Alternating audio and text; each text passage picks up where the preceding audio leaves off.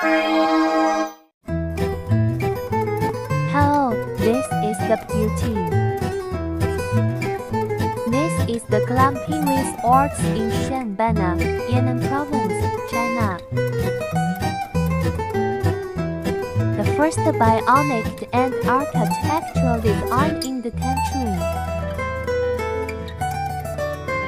Unique architectural style brings different visual enjoyment. Luxury glamping tent brings a different aesthetic style to this place. This is a couch-shaped camping tent.